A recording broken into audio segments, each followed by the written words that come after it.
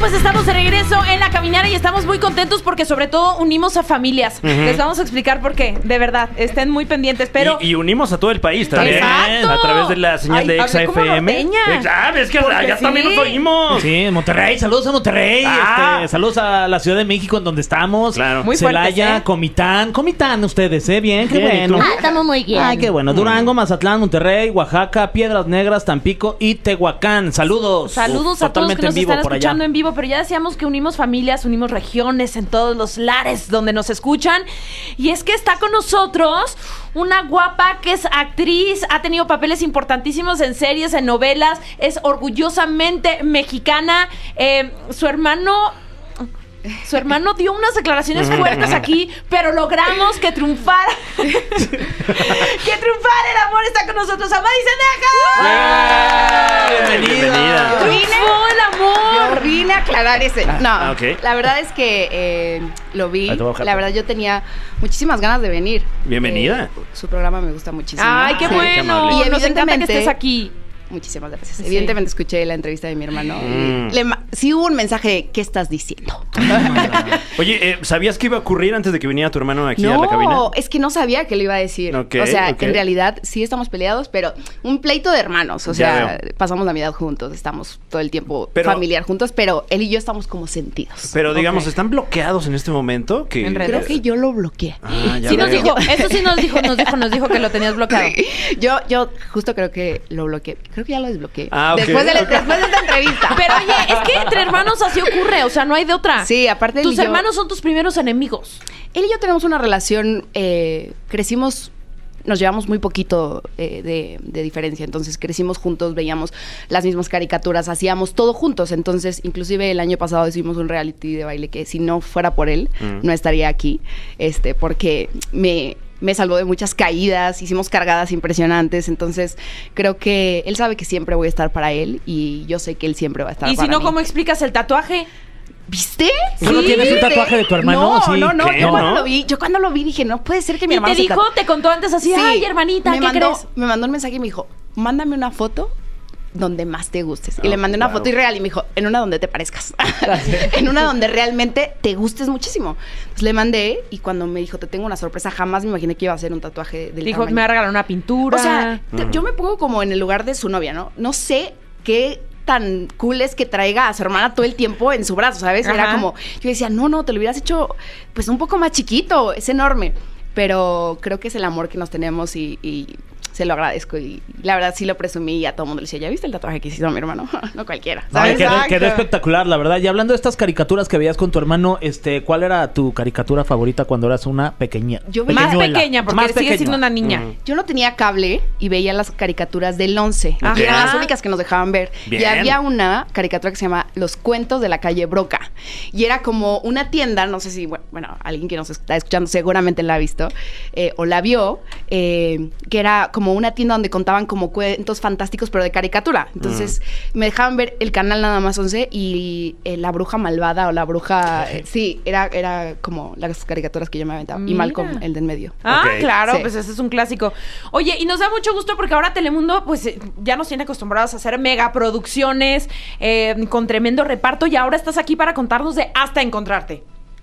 Súper feliz con esa oportunidad. Estoy. ¡Protagónico! Sí, sí, sí, Guau, sí. estuve- felicidades. Sí, la verdad es Qué que chido. me cuesta a veces creerlo. Eh, de repente ha sido como un proceso de mucha lucha para llegar a este personaje. Creo que es un personaje que llevo buscando mucho tiempo en mi carrera y tocando muchas puertas y pensé que no se iba a abrir. Cuando se da la oportunidad me toca eh, vivirlo desde el piloto. Entonces es una historia muy bonita que cuenta la búsqueda de una madre por, por su hijo y creo que esa lucha que tienen todas las mujeres mexicanas solteras eh, criando una familia es, es lo que va a narrar esta historia. ¿Pierde a su hijo?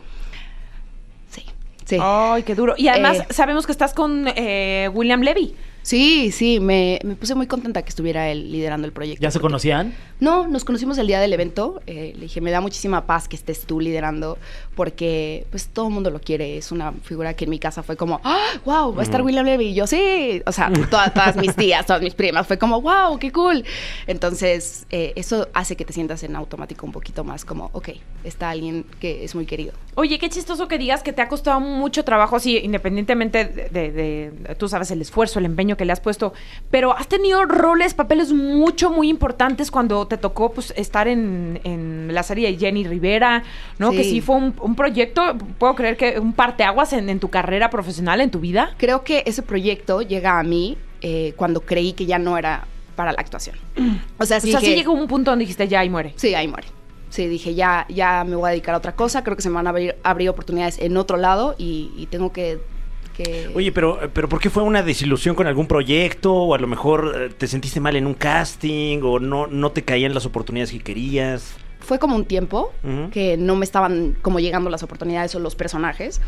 Y creo que todo el mundo lo tiene en su carrera. Lo que uno se dedique tienes como una mala racha. Y esa mala racha pasó en esa edad donde dije que no soy el estereotipo que estamos acostumbrados a ver en televisión protagonizando. Entonces, ¿por dónde le doy? Me voy al tema de la conducción, me voy por otro lado y dije, Ujú. no, tengo que estudiar, tengo que ganar dinero y tengo que tener oportunidades de trabajo. Entonces decido pues, tirar la toalla en la actuación y mando este casting con mi hermano, de hecho. Con muy poca ilusión. Mi mamá lo edita, gracias mamá, porque sin Guau, ti esta órale. carrera, o sea, no existiría. Y mi mamá lo manda y dice, es que querían verte. Cuando me mandan eh, un mail para una segunda prueba, jamás me había ni siquiera pasado por la cabeza que era para un personaje tan importante. Claro. Cuando llego, hago mi audición, me dicen para qué rol es, no te voy a mentir, o sea, sentí que hice un buen casting, más era muy poco probable que llegara. Cuando me avisan que, que llega Jenny a mi vida, es el personaje que me cambia la vida, porque Y me- además físicamente también tuviste que cambiar. Sí. Cuéntanos de esa transformación. Sí, fueron 30 kilos arriba de mi peso. eh, que no me costaron, o sea, eh, soy de una genética que es muy, o sea, ¿En cuánto tiempo los conseguiste? ¿Por el, por resulta- resultado final como en unos... ¿Por qué te estoy preguntando no así? sé, manito, pero- ¿En cuánto tiempo los conseguiste?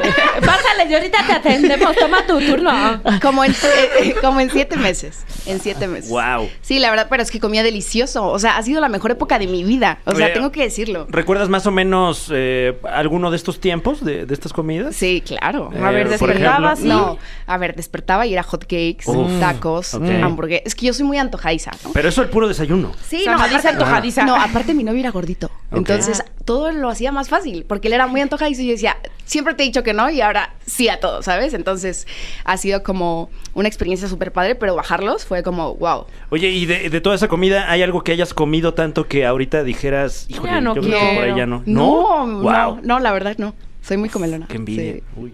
sí, ¿Y la verdad. cómo fue encarnar a una mujer pues que finalmente em, que le interpretaras iba a tener los ojos empezando de su familia, de su público? Sí. Es una mujer muy querida que dejó tremendo legado. También No- muchos problemas, pero ¿cómo fue? No es lo mismo hacer un personaje desde cero a que todo mundo sabe quién es. Mm. Y que estás en el juicio. y que además ya sí. había una versión anterior, ¿no? Sí, ya habían Sí. hecho, sí, exactamente, ya había una serie. Entonces, la gran ventaja es que me toca contar la historia que nadie sabía, que era su infancia y cómo fue su primer matrimonio y su segundo. Entonces, realmente sí me dieron como oportunidad de decir, yo creo que es así con todo lo que ustedes me están contando.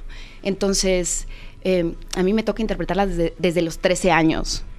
Después su primer matrimonio, su segundo. Y yo la verdad, obviamente la conocía, pero después de saber su historia fui su fan. O sea, dije, wow, la lucha, wow, cuántas puertas tocó y me inspiró a decir, yo quiero hacer exactamente lo mismo y que el no, que muchas veces a ella se le presentó, lo convirtió siempre en un sí, de que, ah, no, pues quieres ver que sí, ¿Quieres? y con esa actitud de, Ujú. ah, no, ja, pues cómo ves que me subo y lo hago espectacular y, y luzco y, y llamo la atención y no soy el estereotipo, pero te voy a enamorar. Entonces eso a mí me inspiró como Samadhi de decir, lo tengo que hacer para mi carrera. Y fue un personaje que empatizó demasiado con la gente. Y creí que, sí, o sea, en mi cabeza siempre tenía la idea de que de otra manera iba a empatizar, siendo perfecta, bonita, este, espectacular. Cuando les cuento esta versión de mí, genero como esa empatía de decir, mira, si te aceptan como Sama, como tal, como, como persona, no con estos est- estereotipos que nos han vendido siempre.